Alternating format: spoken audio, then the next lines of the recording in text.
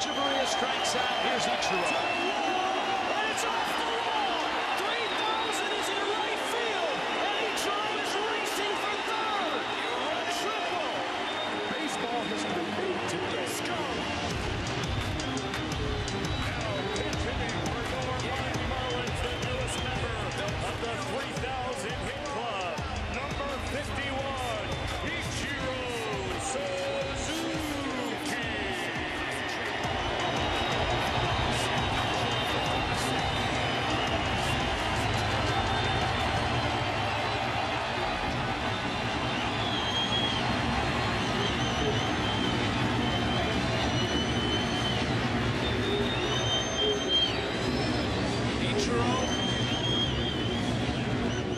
first at bat back in Miami.